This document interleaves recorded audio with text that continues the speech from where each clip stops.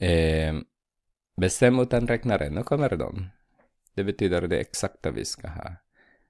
Jag har skrivit den här förhållanden som vi har.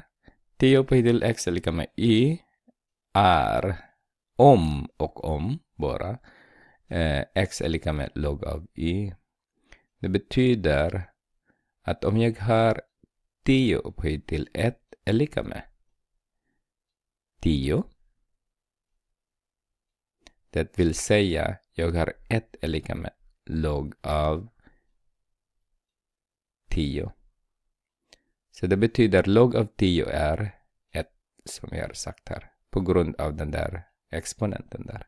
Ska vi titta. Log av 100 är exakt samma sak som log av 10 upphöjt till 2. Och som vi har sagt, den där som ska säga till oss vad är det för log av 100, då är det 2. Ska vi ta B? Den här är 14, matte 2 ser 15, där 15 där.